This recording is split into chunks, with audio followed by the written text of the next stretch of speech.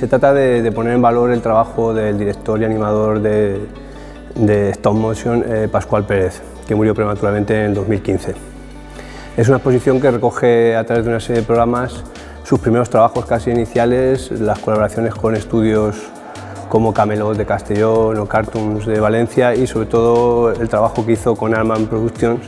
que es donde consiguió pues, quizá más relevancia como animador en stop motion, consiguiendo incluso un Oscar por la película de Wallace and Gromit, el largometraje.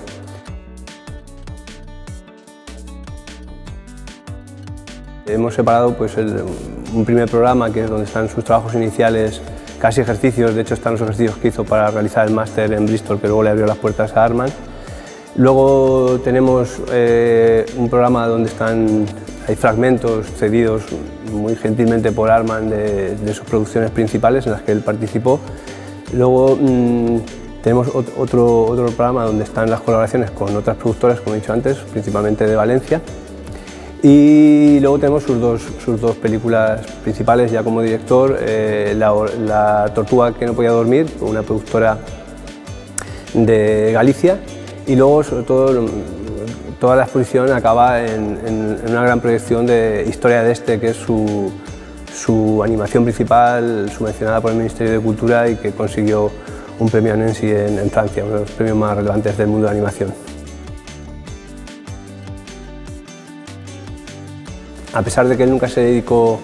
específicamente a eso, eh, acostumbraba a hacer cómics para los amigos o tarjetas de, donde era su teléfono y que hemos ampliado y lo hemos destacado porque creemos que es el germen de, lo que luego fue su trabajo como animador ¿no? y después hemos puesto el bestiario insensato. El hombre sensato es como su alter ego, es un personaje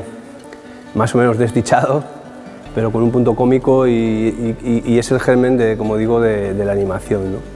En la sala se puede ver también la reproducción de, un mural que aún existe en la calle Corona y que se realizó en 1994, que es una pequeña tira cómica